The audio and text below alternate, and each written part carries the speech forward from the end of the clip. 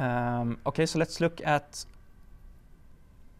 uh, another very common scenario in Java is that you have a function or method that takes an instance of an interface as an argument.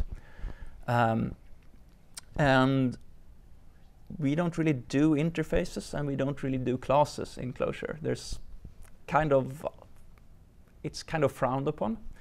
But what is very common is that you want to be able to interact with one of these methods. So there's a very helpful uh, macro called reify, which allows you to implement an interface uh, or yeah, imp implement a, an interface and sort of instantiate a new class that implements that interface directly in the code. So what I'm going to do is um, I'm going to call the thread set default uncaught exception handler function, which takes, uh, let's see, maybe, no, I can't look at that yet, but I can do this. Maybe scroll up a bit, I guess. Um, so this, this, uh, this method is a static method on thread, and we'll configure the current thread to have uh, a, a different exception handler. And the way I would want to supply an exception handler is in the form of an uncaught exception handler, which is an interface that has a single method on it called uncaught exception. It takes a thread and a throwable, so that's the exception, and the thread that where the, where the exception occurred. Now this is actually a nested class. So the uncaught exception handler interface is actually nested below the thread class itself. So, so I, I actually want the you know, thread dot uncaught exception handler. And the way um, Java compiles that, when it compiles those classes, the name of that class actually becomes thread uh, dollar sign uncaught exception handler. So that's just the name of the interface. And I want to reify that. I want to create an instance of that interface. And as you remember, the, there, it has a single method called uncaught exception handler. I'm going to misspell this. Uh, and it will take a this argument, right? There's always an implicit this because it's a method argument. It took a thread uh, and a throwable. And what I want to do is that if I get any of this, I'm just going to print it.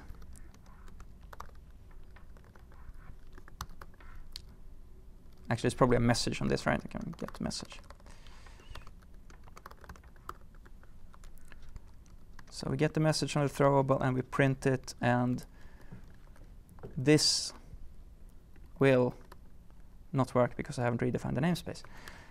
This will still not work because I misspelled the method name, but we can deal with that. Uh, U in the beginning, I think. Uh, U, there was a small one. in where? Here? It should be a big one. Big U. It should be big there, but the method name is not, I think. Let's find out. No, this is right. Because the, the, um, the interface name is called uncaught exception, but the, the method is always called like lower camel case. Uh, so this creates a new instance of, of a, a sort of an anonymous class that implements that interface and assigns it to uh, the uncaught exception handler as an argument. Um, I guess if I throw something here, it will just print. Will, will which might not be the best thing. Maybe it's the normal exception. Yeah, so it's printing that instead of. That's annoying. Okay.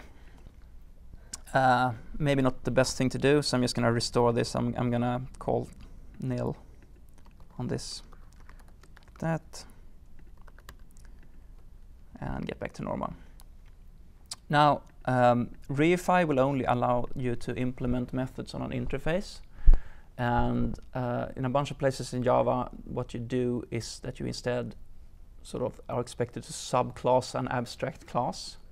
Uh, and you can do that as well, but you can't add any members to it. You can't add, add any fields to it. You can only implement overrides to methods. And the way you do that is with something called proxy, which is more powerful but also a bit more tricky. It's it's a bit it's a bit slower to use because it sort of relies on a bit of I think it does a bit of reflection inside or something like that. So reify is the preferred thing. If you have an interface, you should always use reify. You can use proxy on an interface, uh, but but it, you don't really need to, and it's not as performant. So, but one thing is, I might want to have like a key adapter, um, which is sort of a a very simple class that uh, essentially just overrides an interface and implements empty methods for them so I can so just I, I don't have to specify every single method for the interface. It just implements key listener and just sort of provides empty implementations for, for that so I can use them. But it, uh, in here I want to just implement the overrides for the key pressed method and the difference here between the between proxy and reify is that in, in reify you get an, the, the this argument as part of the, of the method call like this. In proxy you don't, but there's still sort of a, an implicit this you can use inside this method. Um, so there is key pressed. This is available, um, but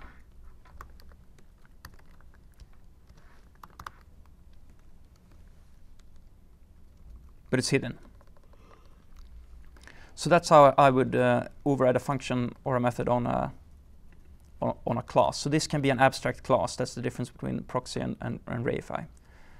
Uh, now you might be thinking like, okay, so how can I how would I do something if I, if I needed fields, if I needed some state with my instance of an interface? How would I, where, where would that go? Because I can't, I can't add fields to an interface and I can't add fields to the proxy that, that I'm generating.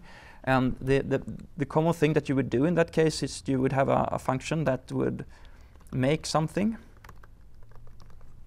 uh, take a bunch of arguments maybe, and then you just put let bindings in, in here for whatever you needed. So you would maybe have an array list here, uh, maybe, if you needed one. Sure.